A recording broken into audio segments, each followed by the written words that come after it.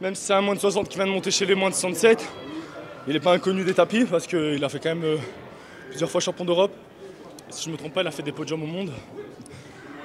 Moi, on se connaît très bien et je sais qu'il fallait que je le prenne au sérieux.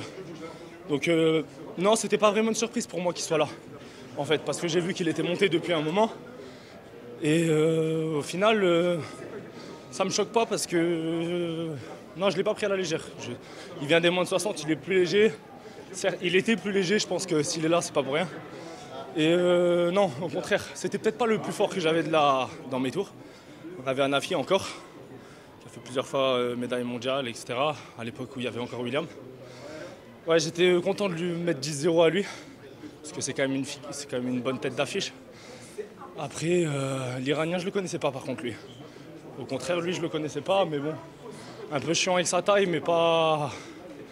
Voilà, je, suis resté sérieux. Mais le plus beau des combats, c'est quand même que, que je suis en finale de l'Open de Paris parce que ça fait trois ans que je la fais, trois ans que je la paie, et en plus, comme un torchon, à chaque fois, je suis nul, alors que je suis à la maison. Et voilà, celle-là, elle fait. Là, c'est pour ça que celle-là, elle est belle. Qu'est-ce qui fait que ça change cette année? Qu'est-ce qui fait que ça passe? Et par rapport aux autres années? Est-ce qu'il te fallait trois ans pour euh, prendre la mesure de tout ça? Ou euh, est-ce qu'aujourd'hui tu étais dans un autre, un autre état d'esprit?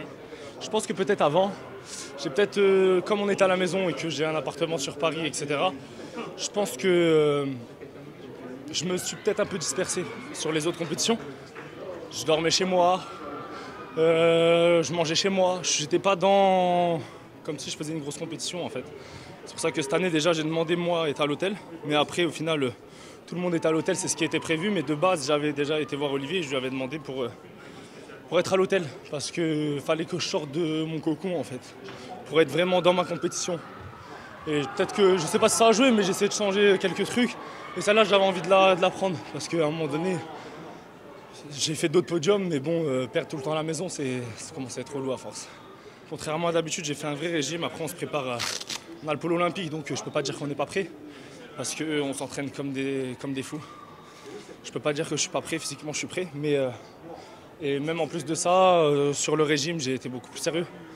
Ça fait, j'ai pas fait la Coupe de France pour pouvoir me concentrer sur, euh, sur mon poids, en fait, parce que à force de faire le yo-yo, en fait, quand je perdais 5 kilos en une semaine, euh, après, je faisais au moins une semaine où je me lâchais totalement et je reprenais pareil.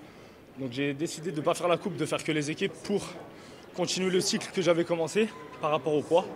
Je suis arrivé ici à 66 kilos et euh, un kilo de marche, c'est la première fois que ça faisait une semaine, une semaine avant la compète, j'étais déjà au poids. Et je pense que je me suis bien senti, ça, peut jouer aussi. Je sais pas, après, j'ai déjà fait des bonnes compètes en faisant des bons régimes, hein, je sais pas si.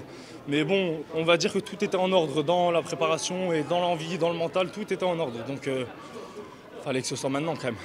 Et ce combat contre l'Égyptien, ça peut être un combat référence que tu vas pouvoir garder là toute ta prépa pour les prochaines grosses échéances? Ou tu, sens que tu peux encore euh, aller plus haut? Je le garderai bien sûr dans un coin de ma tête, mais attention à Nafi, il est, très surprenant. Je peux lui mettre 10 aujourd'hui comme père de 10 demain. Il est très très surprenant. Après, euh, moi, ça fait trois fois que je le prends, trois fois que je le bats. Je pense que j'avais le petit truc peut-être qui le gêne. Donc euh, voilà, mais non, je prends les combats comme ils viennent et voilà, un jour on gagne, un jour on perd, donc euh, je prendrai les combats comme ils viennent. Franchement, je me suis bien senti, ça faisait un moment que je me suis pas senti comme ça. J'ai gagné Salzbourg il y a deux mois, quelque chose comme ça. Mais j'ai pas eu les mêmes sensations. J'ai eu vraiment beaucoup de mal à me mettre dedans. Un régime assez dur. Et euh, je pense que là, j'avais des vraiment meilleures euh, sensations sur cette compétition-là. Déjà, même si la finale n'est pas faite, c'est sûr, je suis beaucoup plus content de cette compétition-là que celle de Salzbourg.